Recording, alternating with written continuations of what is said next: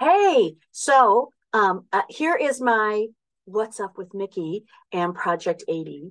So I have a new project. Um, my new project is um, one that is a lot more complex than my last project. Uh, for those of you who knew me from my last project that lasted for 18 years, it worked. Um, and it worked and it did a lot of things, but it also led me to this project. So I've been thinking about this project, Project 80, for a while um, based on the environmental changes that we made from Project ELF. Now, Project ELF was a program that I created. We allowed people to take their goods and then give them to somebody else who really needed them. So we did a lot of really fun, interesting things with that project.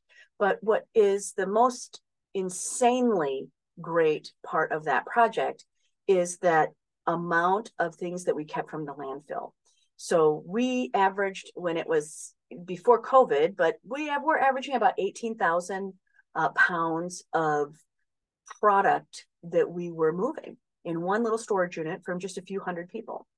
And so that 18,000 pounds is nine tons, but I've did it for 18 years. So when you look at that, that's 1,600 some. So it's 1,600 tons of things that didn't go into the landfill or that got a chance to be reused or repurposed. And that is tremendously huge. But the next big problem that we have um, is again, right? I'm here for social justice. I create great things in the world um, and I solve things differently. And again, right, I dedicated my life to prosperity. And I will tell you that prosperity means that we got to stop killing the planet and we've got to give young people more opportunities and we've got to have more people earning um, from their what they're doing. And uh, you also know that i like to goof around and play.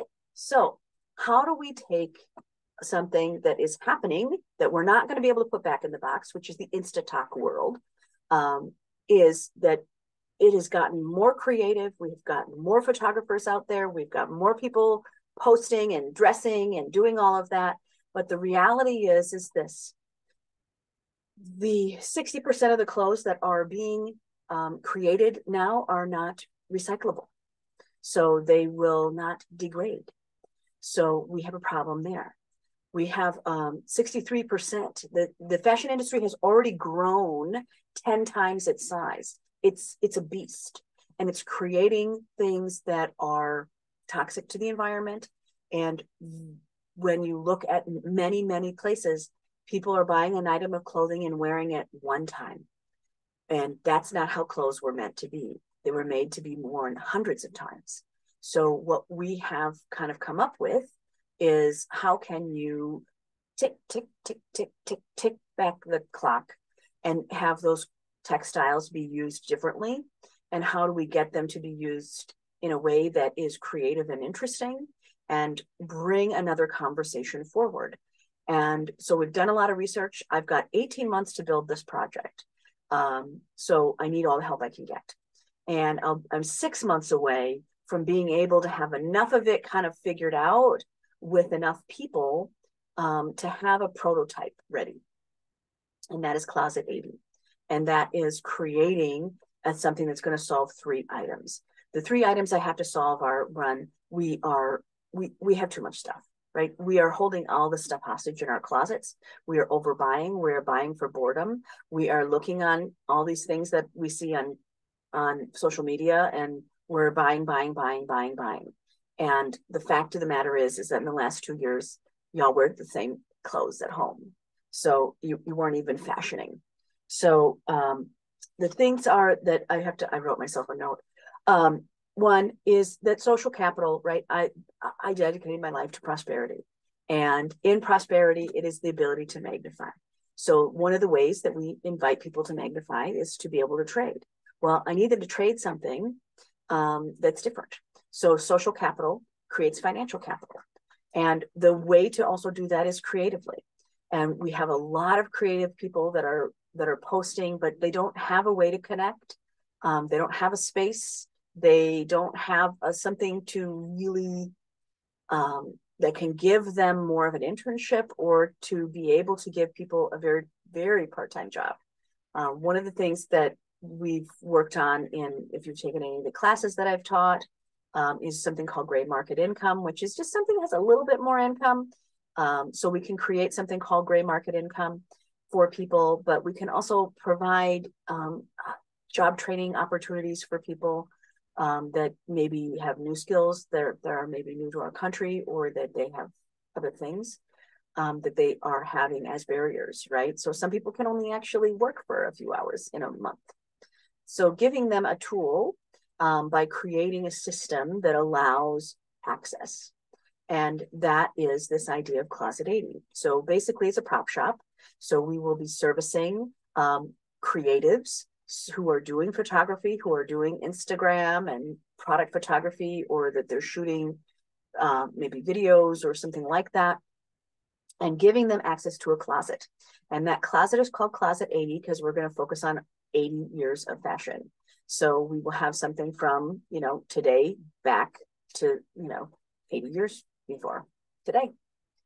Uh, so we'll kind of have some things that people can utilize in the movie industry, um, that they don't have to recreate those clothes, that, you know, if they need a, you know, Foxy 70 coat, we got it.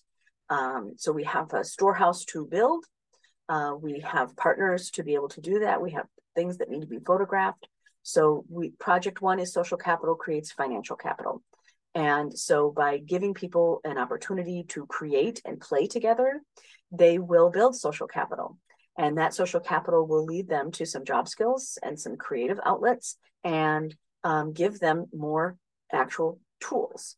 So when you look at, you know, there's not enough creative solutions. Number two, they need access to creative solutions around creative work.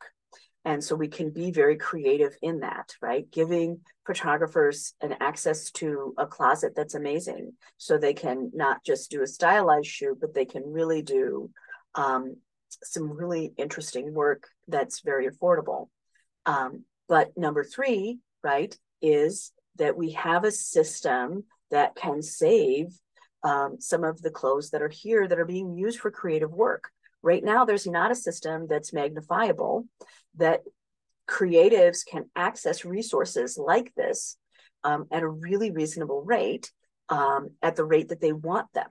So if we can make it so that it's more cost effective, that it's more delightful, that it's more interesting, that it's fantastic and stylish, to actually go back in and not create something that's brand new off of the runway, but go back to the runways of the last 80 years and find something magnificent and bring a new conversation to style, to bring a new conversation between old and new.